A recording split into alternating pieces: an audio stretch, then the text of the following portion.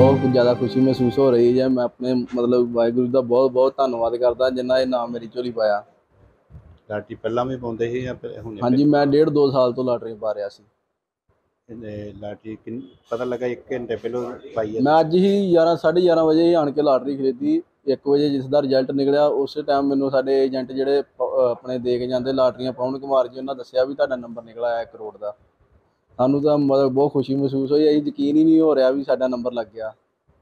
ਤੇ ਕੀ ਕਰੋਗੇ ਇਹ ਪੈਸਿਆਂ ਦਾ? ਮੈਂ ਇਸ ਇਸੇ ਪੈਸਿਆਂ ਨੂੰ ਆਪਣੇ ਬੱਚਿਆਂ ਦੇ ਭਵਿੱਖ ਵਾਸਤੇ ਆਪਣੇ ਮਾਪਿਓ ਵਾਸਤੇ ਤੇ ਲੋੜਵੰਦਾਂ ਦੇ ਵਾਸਤੇ ਵਰਤਾਂਗਾ। ਫਿਊਚਰ 'ਚ ਵੀ ਲਾਟਰੀ ਪਾਉਂਦੇ ਰਹੋ ਹਾਂਜੀ ਮੈਂ ਅੱਗੇ ਤੋਂ ਵੀ ਲਾਟਰੀਆਂ ਪਾਉਂਦਾ ਰਹਾਂਗਾ। ਕਹਿੰਦੇ ਆ ਨਾ ਲਾਟਰੀ ਜੂਆ ਹੁੰਦੀ ਆ ਤੇ ਤੁਸੀਂ ਲਾਟਰੀ ਨਹੀਂ ਜੀ ਇਹ ਕੋਈ ਜੂਆ ਨਹੀਂ ਹੁੰਦਾ ਇਹ ਕੋਈ ਪੱਕੀ ਨਹੀਂ ਵੀ ਅਸੀਂ ਇਸ ਨੂੰ ਹਰ ਵਾਰੀ ਪਾਈਏ ਆਪਣੇ ਬੰਦੇ ਡਿਪੈਂਡ ਹੁੰਦਾ ਹੈ ਜਿਸ ਦੇ ਮਤਲਬ ਇਸ ਲਾਟਰੀ ਨੂੰ ਪਾ ਸਕਦਾ ਉਸ ਨੂੰ ਜ਼ਰੂਰ ਖਰੀਦਣੀ ਚਾਹੀਦੀ ਹੈ ਕਿਉਂਕਿ ਜੇ ਮਤਲਬ ਸਾਡੀ ਲਾਟਰੀ ਨਿਕਲਦੀ ਹੈ ਅਸੀਂ ਇਹ ਰਕਮ ਨੂੰ ਆਪਣੇ ਵਧੀਆ ਭਵਿੱਖ ਵਾਸਤੇ ਵਰਤ ਸਕਦੇ ਹਾਂ।